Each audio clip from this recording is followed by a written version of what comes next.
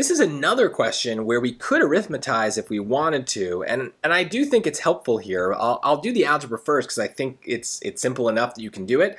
Um, but you might want to arithmetize because there's some changes that could be made to this that make it a little more complicated. Basically, because this is a plus, these parentheses are irrelevant. They don't matter. They're not like we're going to multiply anything. If this were a negative, if this were a minus sign in between these, then we'd have to distribute that negative, and that adds complexity, and that might be why that you might want to arithmetize on something like this. But because it's a plus, we can ignore the parentheses completely and just kind of combine like terms. So 2x squared and 1x squared is 3x squared. So that gets rid of a and b.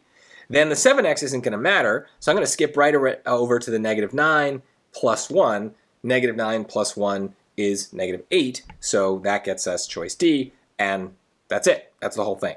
So that is definitely easiest if you just understand the algebra. If you wanted to arithmetize, like I said, we could pick a number. What I would do is I would start with x equals 0. Uh, it's very easy because it means that anything that has an x is just going to basically disappear.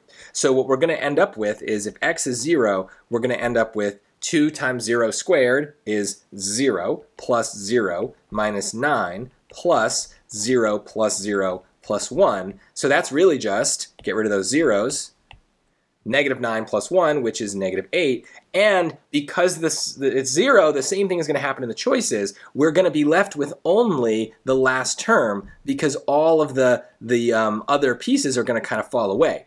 Now that's good because it gets rid of A and C, both B and D work. And this is a very common thing that happens with arithmetize is, is we pick a number that's really convenient, but it sometimes works with multiple answers. And that's okay.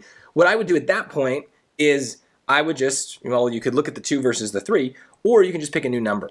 So let's pick something like 1 um, and see if that helps us. So in that case, we'd have uh, the, the, exponents um, kind of go away, even though the, the variables don't. So this would be 2 times 1 squared plus 1 minus 9 plus 1 squared plus 6 times 1 uh, plus 1. So again, the 1s are going to make things really simple. This is 2 plus 1 minus 9 plus 1 plus 6 plus 1. So 2 plus 1 is 3, 3 minus 9 is negative 6. 1 plus 6 is 7, 7 plus 1 is 8. So negative 6 plus 8 is 2. And now all I need to do is check choices B and D and see how they play out. So this would be 2 plus 6 minus 8. That's 8 minus 8 is 0, so that's not 2, not what I wanted.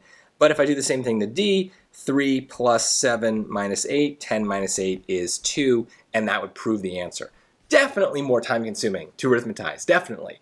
But if you're trying to get better at the SAT, this might be the kind of question where you arithmetize anyway, just so you can get used to it. You might be very confident with the algebra here, but it might be good to use this as just like some, some arithmetize with training wheels so that when you really need to arithmetize, you understand the strategy. So uh, a lot of the times in my videos, I'm going to do that, where I go through a strategy that might not be efficient in this case, but I think it's worth kind of understanding and, and trying it out on some practice questions yourself so that way when it really matters you have you know built up that muscle you've practiced enough that the arithmetize strategy is really seamless because it absolutely makes a difference on some harder questions